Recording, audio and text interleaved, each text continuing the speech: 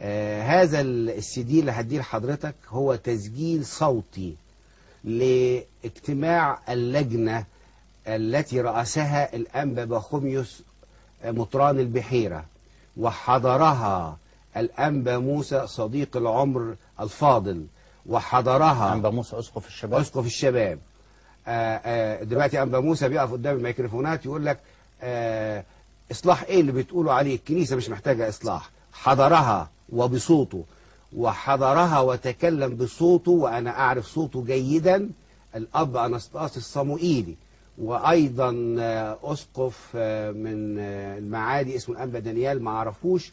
وآخر وهذه ال- اللجنة بالصوت اللي حضرتك تقدر تحطه دلوقتي على لا طبعا أنا لازم أتحقق الأول إيه ده؟ عشان تسمعه بتقول أن عدد الذين يشهرون إسلاما يوميا يتراوح بين 80 و200 شخص.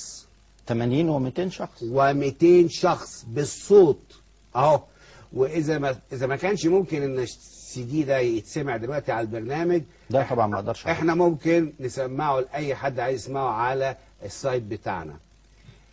من من 80 ل 200 شخص وانتهت هذه اللجنة برئاسة الانبا بخوميوس وعرفت بلجنة الانبا بخوميوس إلى أن عدد الذين يشهرون إسلامهم سنويا في مصر في المتوسط خمسين ألف شخص.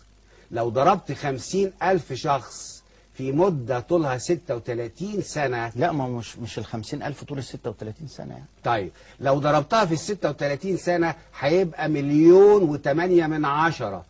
هنقول إنه مش بالظبط كده خمسين هنقول إنه مليون وربع على الأقل تركوا المسيحية وأشهروا إسلامهم خلال هذه الحقبة. مع العلم أن اللجنة بالصوت على هذا السي دي بتقول أن هؤلاء الذين أشهروا إسلامهم آه، مفيش حاجة اسمها خطف آه، والناس آه، كانت تستطيع أن تقول لا والسي دي أهو